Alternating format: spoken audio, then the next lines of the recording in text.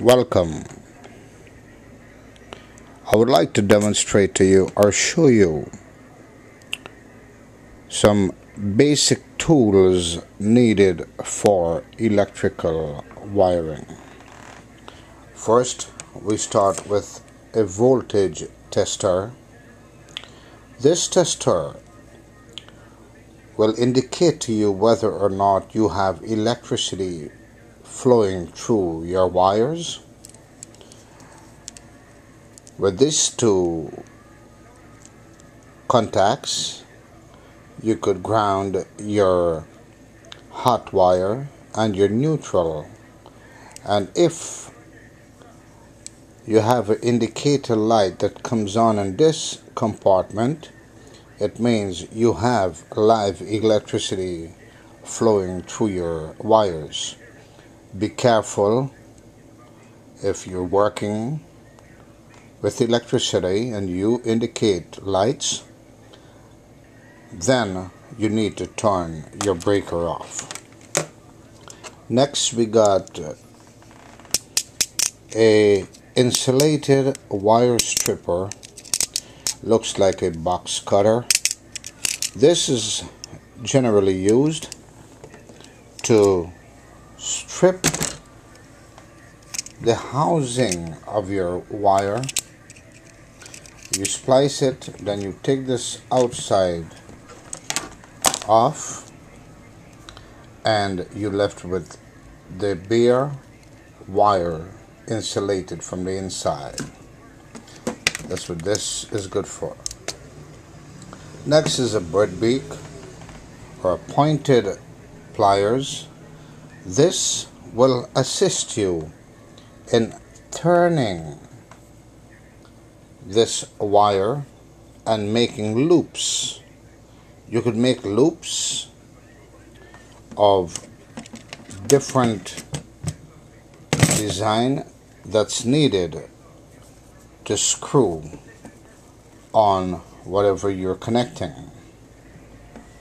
Next, you need a receptacle tester. This receptacle tester, you could plug it into your receptacle. If you have these two lights that's lit, then it means you have live power coming through your receptacle if you're working with electricity at that time, you may want to shut your breaker off, or for a simple reason you would like to test your receptacle to make sure they are in good working mode. Once again, if these two lights comes on together, it means your receptacle is working fine. If one of these yellow lights should come on with this red one, then you know you have a shortage within the receptacle and it should be changed immediately. Next, you have an electrical tape for all your electrical purpose. When connecting a wire, you will want to use also one of these caps that will cover your wire for safe protection against shocking or exposed wire that will enhance electricity. So, you may want to use the electrical tape and tape around those wires for safety. Next, you have a knife. Looks like it is a sheetrock knife. This is where you could use to cut around your sheetrock after measuring so that you could have a clear cut 99% of the time to fit your box in for good service. Another important thing is your pliers. This is a basic regular pliers with insulation on the outside of the handle. This protects you from direct electricity or direct current to contact. You don't want to contact, uh, make direct contact with electricity. It's bad for you. Also, you need to get a flat screwdriver in case for some reason you have a flathead or a fillet, you use it for this purpose. Also, a Phillips is needed in case, remember, I told you if you have a Phillips head or a flathead, this is good for the purpose also. Now, this very important tool, this is a gauge stripper.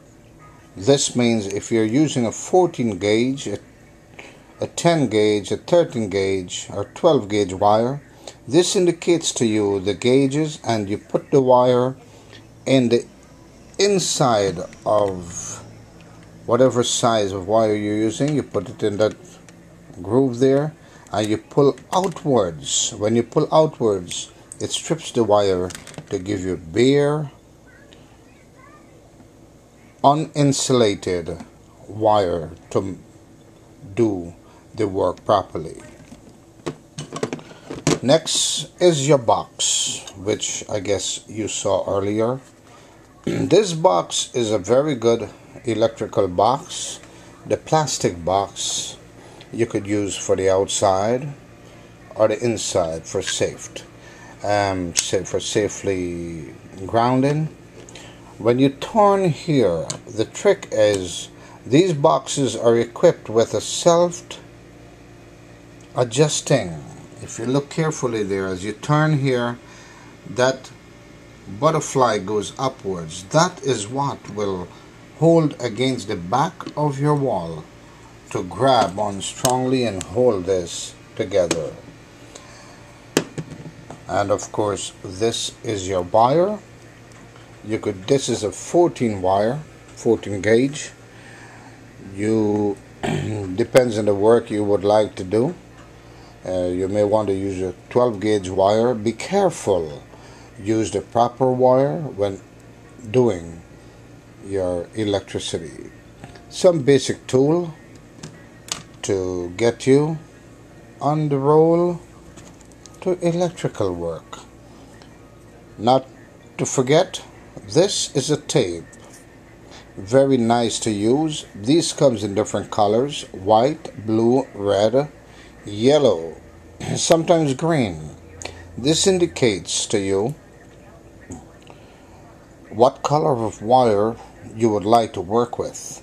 So if let's say for example you have a white wire, you have a black wire and you have a ground wire which is a plain copper then you could take the white tape put it on around the white wire the black tape around the black wire the red tape or the yellow tape around the ground or the green tape around the ground. This indicates to you um, a way to identify your wires properly.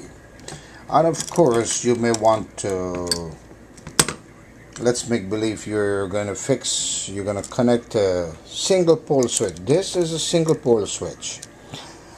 The way the, re, the, the, the, a good way to identify a single pole switch is to note that it only has three screws. One two three.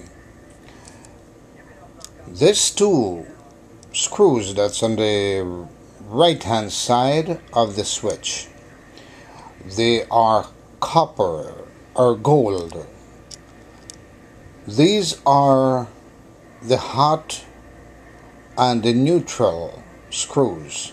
This is where your black and your white wire will go. It doesn't matter where, which screws, which wire goes where on which screws.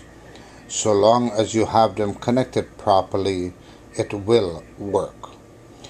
The next side will be for the ground. That's the green screw that's where this copper wire goes into and once you have these connected properly then your switch is ready to work you go back to your box from behind of this box there is two entry gaps here that you will want to push down and then bring your wires through.